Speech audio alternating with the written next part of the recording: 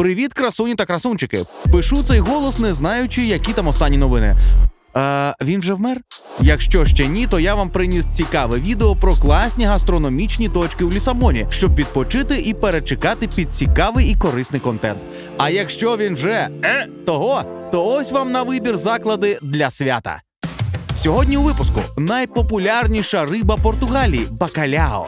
Море крові та найсмачніший козлик у ресторані традиційної кухні, і найдешевший перекус у компанії місцевих у самому серці Лісабону.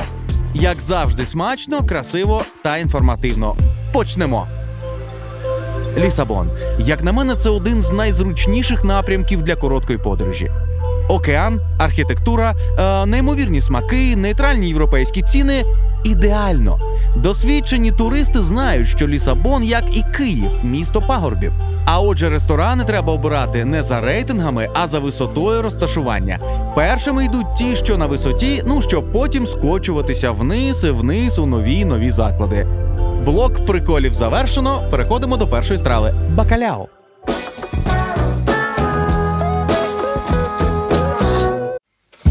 Португалія європейський лідер у споживанні риби на душу населення. Для країни з неймовірною кількістю свіжих морепродуктів здається дивним, що однією з національних страв є сушена солона тріска.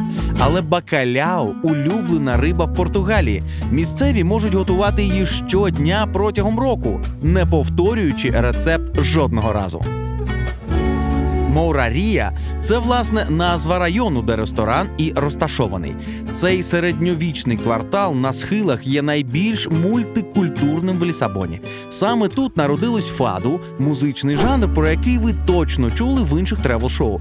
Тут жила легендарна співачка Марія Севера. Вона була першою відомою співачкою фаду, яка зробила цю народну музику популярною серед аристократії. Саме тому в ресторані на стіні висять портрети відомих співаків фаду. Всі вони народилися в цьому районі. Дуже колоритна маленька місцина. Так що рекомендую сідати на вулиці, щоб потім весь день не пахнути кухнею. Бакаляо, бакаляо, а я маленький такой. Мы просили начать с этой песни, не знаю почему. Вот и закончилась наша программа э, «Музыкальные заявки». И мы приступаем к новой рубрике «Давайте поедим». Ну что, моя бакаляо уже на столе. Как бы не, это не звучало смешно, что моя бакаляо на столе. Вот так это все выглядит, и мне так нравится. Мне так нравится, что это все вот по-простому, по-сельски. Вот такое ощущение, что ты приехал куда-то в село, в деревушку, э, сзади вот сохнет белье. Ну, не наша там деревушка, а куда-то португальская деревушка. Вот женщина, тебе это все, взрослая бабушка, тетя, неважно кто, тебе это приготовили, вынесли на вот таком обычном, простом э, блюдо, вот э, алюминий, блюдо, о, все. А вот настал тот момент, когда я говорю такие слова, как блюдо. Это мне в свое время бабушка, внучок, сходи с серванта, принеси вот это вот блюдо. И я несу, думаю, ну какое-то блюдо, это тарелка, ба. Ну ты же старики называть-то, все, а вот, добрый вечер. Блюдо, сервант, сразу двойное попадание, экзамен по возрасту прилетел. Солена тріска виробляється вже більше 500 років. Сушіння та соління це стародавні методи збереження поживних речовин, і більше того, воно часто робить продукт смачнішим. Насправді, в Португалії саме слово бакаляо частіше відноситься до солоної сушеної тріски, і не так часто можна у продажу знайти свіжу тріску або бакаляо фреска. Алюминиевое блюдо. И здесь уже положили максимально аккуратно, вот как могли. Нет вот этого, знаете, что ложечкой вот так ты положил сверху чуть-чуть майонезика, какого-то соуса. Нет, все по-свойски. Картошка, капуста. Ну, нут, правда, это такая не сельская история, но пускай. И я так понимаю, что это, это чеснок обжаренный. Да, это выглядит очень аппетитно. Это так вкусно пахнет. Вот отсюда мы сели просто на улице, и сквозняк идет, и ветер гуляет туда-сюда, и постоянно мне несет нос этот запах. Это потрясающе вкусно пахнет. Есть еще вот сырок такой, его принесли с самого начала, как э, закуска. И сразу хочу сказать для тех, кто не знает, в Португалии за это берут деньги. Будьте готовы к тому, что вы за это заплатите. Сырочек какой вкусный. Просто бомба. Все, отыграли шефа. Стоял так, смотрел. Я переживал, думаю, сейчас не то что ляпну, вдруг он понимает, о чем я говорю. Ну, мне это все нравится пока. Все по-честному.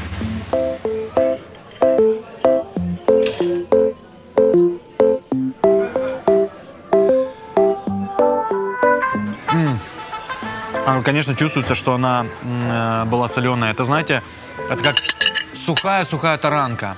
Прям, которая, вот прям ты ее можешь вот полностью сломать. Требуха такая от нее отходит. И вот такое ощущение, что ее взяли, потом куда-то надолго положили в какую-то, ну, не знаю, воду, раствор, там, в соус, в бульон. И потом ты ее начинаешь есть. Вроде бы она и мягкая, но вот это ощущение того, что она была очень-очень сухая, оно остается, когда ты долго ее начинаешь там э, долго жевать, более тщательно. Такая соленая, вкусная. Да очень прикольное блюдо. Это не свежая треска. Сейчас вы узнаете, как ее готовят. Як я вже казав, рецептів безліч. Але бакаляу точно перед приготуванням доведеться довго вимочувати, міняючи воду, щоб у рибу повернулася волога та вийшла сіль. Це може зайняти кілька днів. Можна замочувати і у молоці, а далі просто масло і вогонь.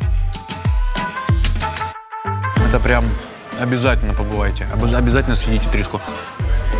Бакаляо вот здесь, самое бакалявистое бакаляо среди всех бакаляо, которых я ел в своей жизни. А я ел, между прочим, хо-хо, второй раз ем. Но тем не менее, есть чем сравнить. А, а лук свежий. Я думал, что лук тоже такой вот томленый будет, э, но нет, он такой свежий. Чуть-чуть он полежал, наверное, в маринаде, какие-то там минуты. Очень классный лук. Как на, как на шашлык вот. А, шикарный лучок. Слушайте, обалденное блюдо. Я просто не понимаю, зачем нут. Вот нут я бы смело убрал. Я сейчас попробую. На, видишь, беру там, где больше, не из тарелки. Хотя тоже вкусно. Вот разбавить вот этот соленый какой-то вкус, съел более нейтральный. Это вот, как грубо говоря, ты нюхаешь духи, и тебе дают кофе понюхать, чтобы ушел вот этот вкус. Здесь вот точно так же. У португальців є секрет: нікому не кажіть. Сьогодні всю тріску, що продається в Португалії, імпортують. Так, місцеві рибалки не мають доступу до місць її лову, тому всю тріску доводиться купувати. Основні країни-постачальники це Норвегія та Ісландія. Там її ловлять, сушать, солять і відправляють у Португалію. Незважаючи на все це, страви з бакаляу продовжують бути одними з найпопулярніших в Україні. Мне сказали, вот, кстати, официант вышел, говорит, «См- внимательно следите за своими вещами, эм, потому что здесь могут прям вот забрать. Я вот положил, и здесь такой район, что нужно за всем внимательно смотреть. Буквально, если ты отвлечешься, то не переживайте, это мы просто показываем вам, это наш специально обученный человек, это наш парень, что так делать не... Ты в туалете был?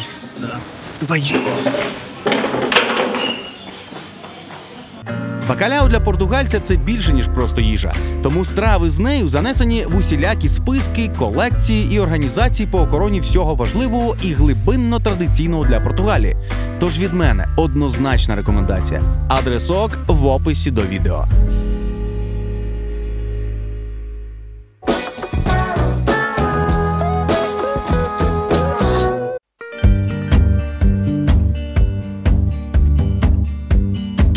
Кількість закладів в Лісабоні зашкалює.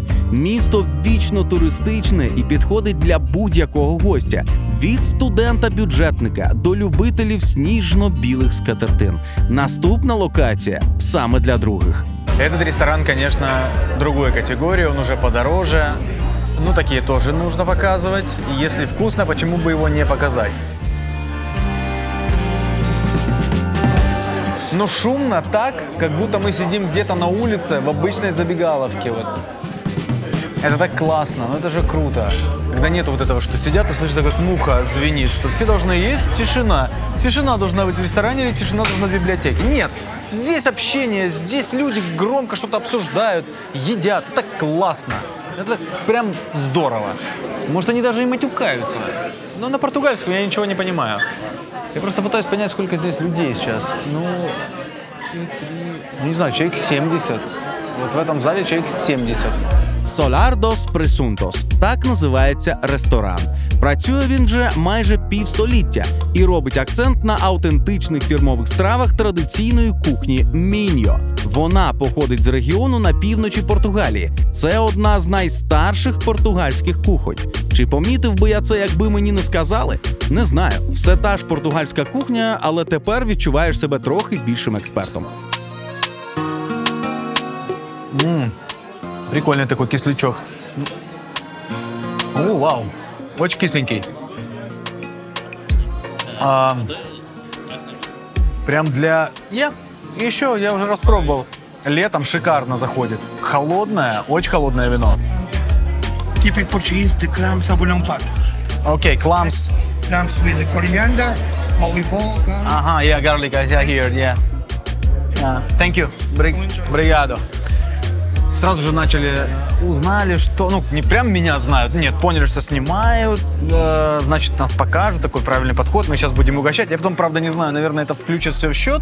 Португальцы это умеют. Но не буду говорить про этот ресторан. Но вот принесли осьминог, э, посыпали его красненькой, красненькой паприкой. И э, каумсы вот такие, видите? Всем привет, это Андрей Бедняков, и добро пожаловать к нам на шоу. А-а-а-а-а. Typical э, Portuguese э, food, сказал мне парень. Если у нас с вами борщ, то тут каум. Вкусно пахнет чесночок. М. Вообще, морепродукты здесь, в Лиссабоне, ребята, ребята, это такое вкусное, что вот что-то невозможное. И осьминог, кстати, мне больше всего нравится именно здесь, в Португалии. Вот правда, я пробовал во всех странах там осьминог, но почему-то то ли потому, что тогда, когда я его здесь ел, было такое настроение, и вот удачная компания, и вот с тех пор для меня самый вкусный осьминог в Португалии. Я ничего не могу с собой поделать.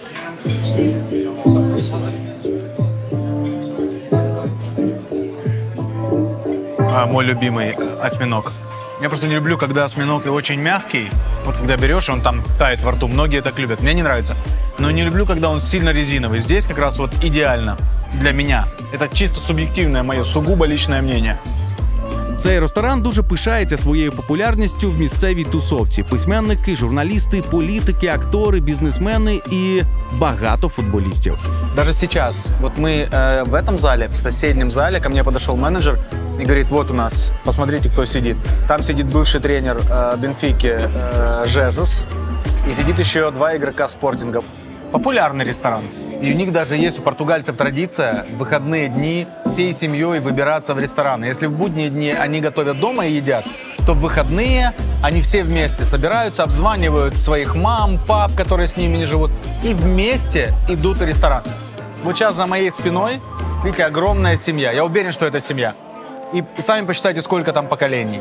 Я прийшов сюди показати вам одну страшненьку страву у власній крові. Але для початку куштуємо козлика. Це варіант на більш масову аудиторію. І не дарма.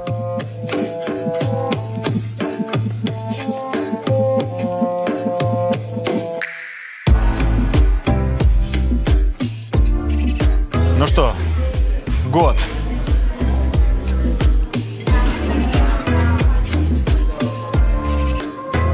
Все.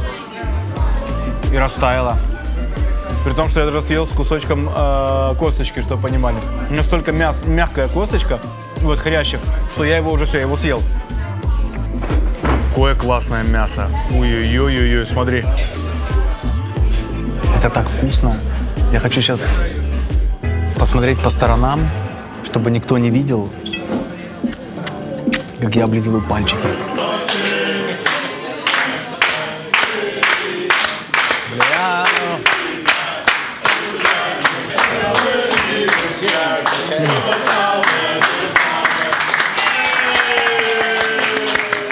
А теперь конкурс. Давайте мы, мы будем перекатывать. Вот тебе день рождения. Пожалуйста. Шикарное. Одно из моих, ну, войдет в мой топ 100%. Прям нежнейшее, ну, просто его так хоп. Мне еще нравится это мясо тем, что у него зажаристая корочка везде. А я люблю еще с детства зажаристо, чтобы хрустело. Страва, заради якої я сюди прийшов, взагалі не виглядає як замануха. Але що поробиш, традиційна кухня, так що не судіть по обгорці.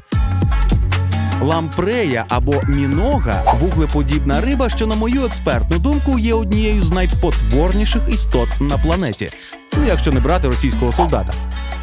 Португальська мінога більшу частину свого життя проводить в солоній воді. А як приходить нерест, йде у прісну воду до річки. Там її і виловлюють.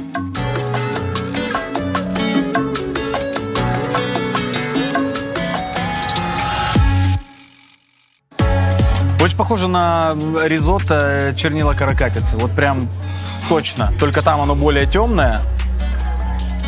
Вот это вот рыба. Интересно.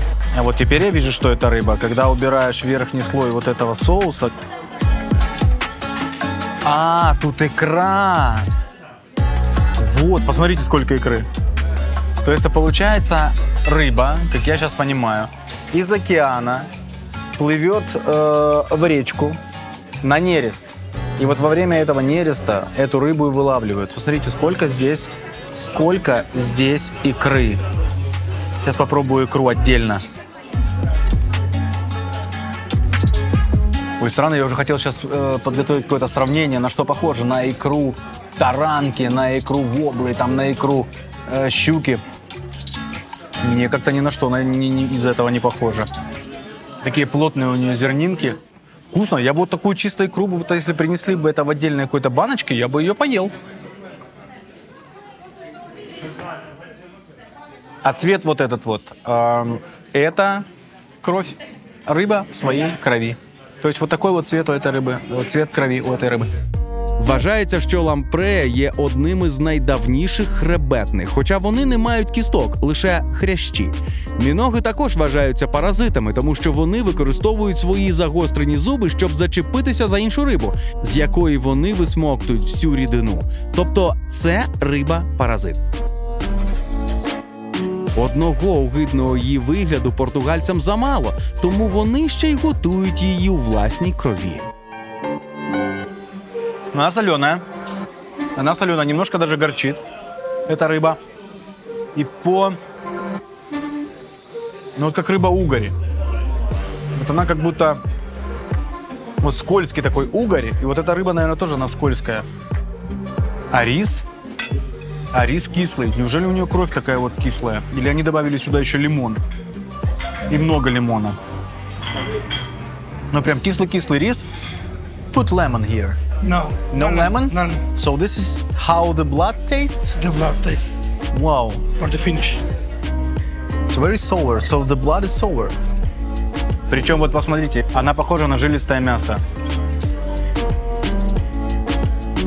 Рыба необычно, неожиданно, интересно. Мое ли это? Ну, если выбирать между вот козленком, который я ел, и рыбой, то однозначно я выберу эту молодую козочку. Вот он.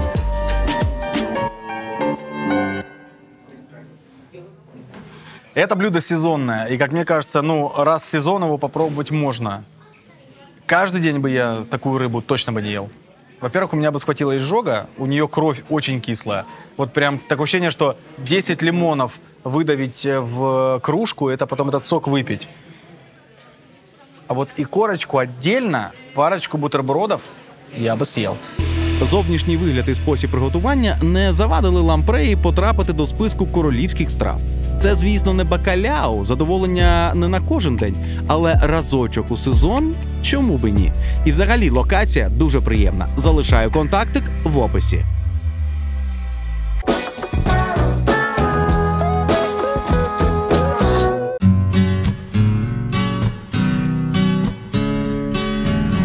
Модні ресторани ви і без мене знайдете на TripAdvisor, а я тут для того, щоб показати вам рекомендації від місцевих.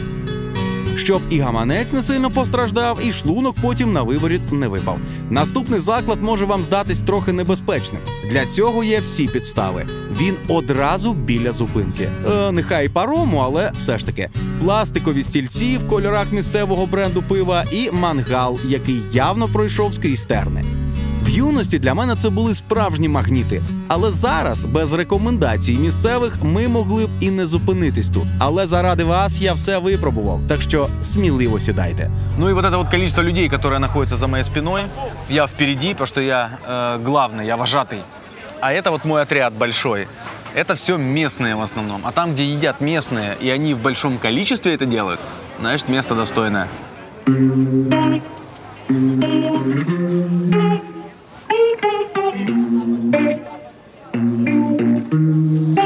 Ну что, рыба-сабля и макрель. Сейчас подожду, пока э, малолетние пользователи Ютуба посмеются над э, названием рыба-сабля. Да, сабля. Все, хватило времени? Поржали? Ну здорово. Вот она, большойчик кусочек, потому что рыба сама не маленькая. Ну а макрель, вот такая макрель. Макрель, besoin de toi. Ну а макрель, видите, она небольшая рыбка. Тут мне две, две целых, две целых принесли. Вот такая вкусная. Вот эта рыба-сабля. Ребята, первый раз ем рыбу-саблю. И мне нравится. Такой насыщенный прям у нее вкус. И минимум костей. Смотри, как прикольно она отделяется очень легко. Такая нежная. Я бы ее чуть-чуть бы досолил, наверное. И она имеет свой вкус. То есть я предполагал, что, возможно, она будет безвкусная.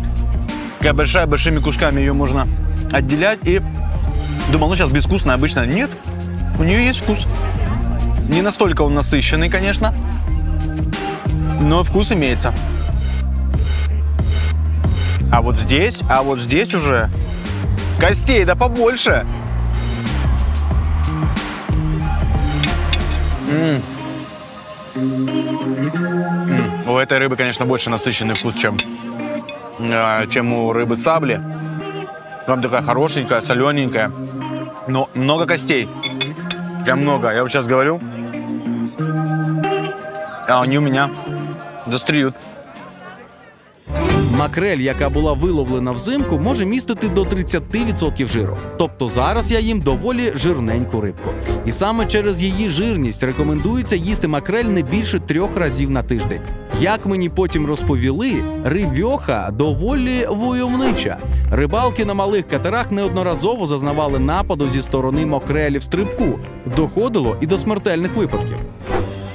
Но вот я сейчас уже со временем понимаю, что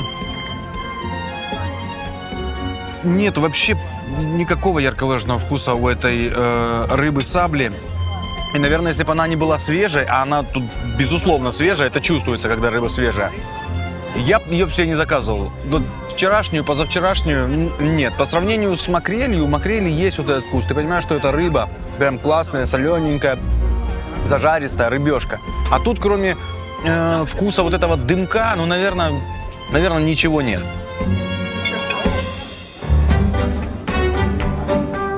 А Вот там вот хозяин этого заведения. Он раньше тоже сам жарил рыбу лично, но со временем уже перестал это делать. Я не знаю, может, с возрастом, может, просто лень, может, не хочет. Я не могу залезть к нему в голову, но сам факт, то, что он здесь вот ходит и встречает гостей, провожает их за столы, общается с ними.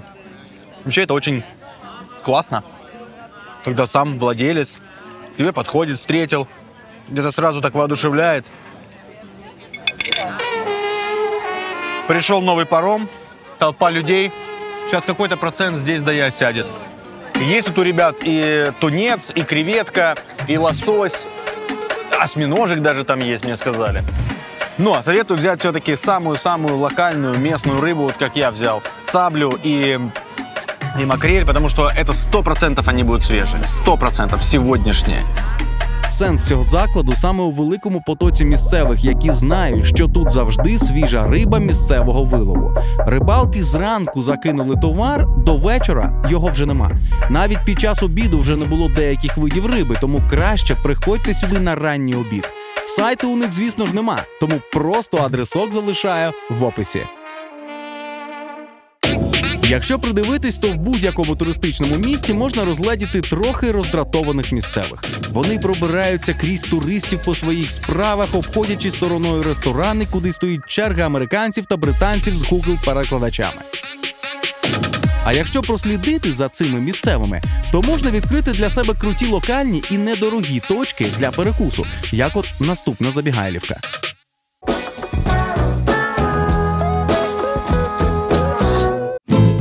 Каса Дас Біфанас звичайне кафе, куди ще до світанку збігаються місцеві, щоб швидко і недорого поснідати, а потім і пообідати. Ну а потім ввечері ще й келих пива сьорбнути. Хедлайнер цього закладу власне Біфанас. Вот так вот это выглядит. А я, когда наблюдал оттуда, с той стороны, предыдущий мужчина, который делал такой бутерброд, бутерброд, он добавлял три кусочка свинины, а этот мне почему-то дал два куска. Ну ладно, спишем это на то, что он подумал, что я слишком худенький, и я наемся двумя. Но местные едят его вот с этой горчицей. О, она такая прям жидкая-жидкая. Такое ощущение, что это лаймовый сорбет. Но это не наша горчица. Я думаю, что она и не будет острая, но мне так кажется. Сейчас попробуем. Рецепти по місту різняться, але як правило, маринад для м'яса включає часник, пірі-пірі, ну це такий перчик маленький, як у твого колишнього, а біле вино та паприку. Подається в білому хлібі з чилі або гірчицею.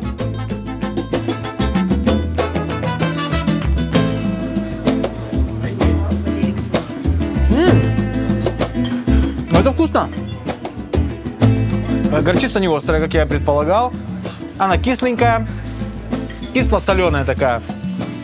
Мясо классное, не жирное вообще, слушай. Это очень сытный бутерброд.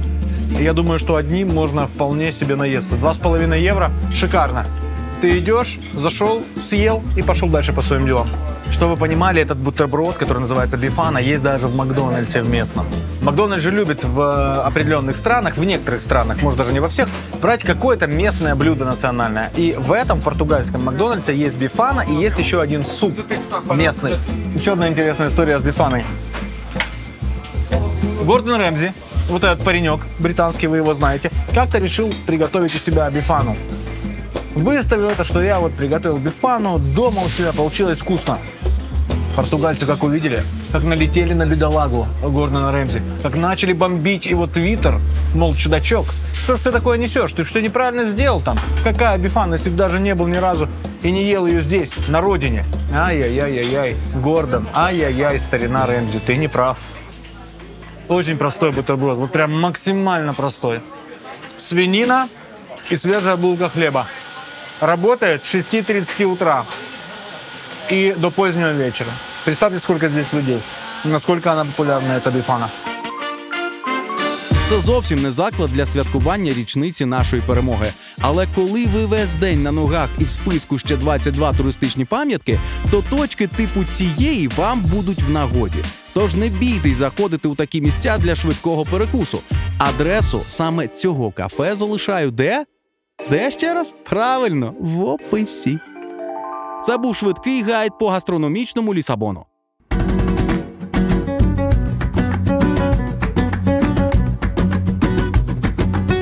Я буду дуже радий, якщо вам вдалося все ж таки відволіктись від новин хоча б на ці півгодинки.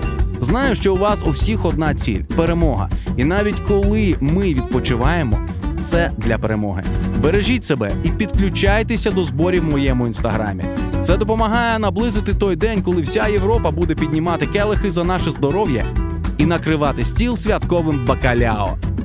Підписуйтесь на канал, щоб не пропустити наступні випуски. Все буде Україна.